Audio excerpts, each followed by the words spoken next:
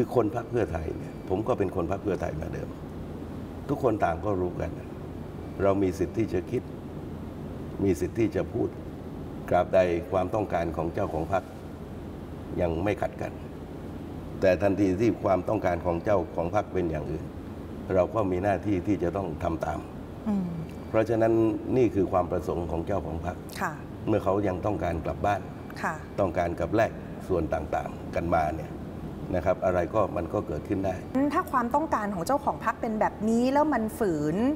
มติประชาชนเนี่ยความนิยมของเพื่อไทยที่ตอนนี้ต้องยอมรับว่ามันแผ่วอยู่แล้วเนี่ยครับมันจะกลับคืนมาได้ยังไงอะคะนี่เป็นคำเป็นคำถามที่ต้องมีไปอย่างเจ้าของพรรคว่า เขาต้องการจะเปิดกิจการ จะสร้างกิจการเพื่อจะไปต่ออหรือจะปิดกิจการ เพื่อที่จะแลกกับการกลับบ้าน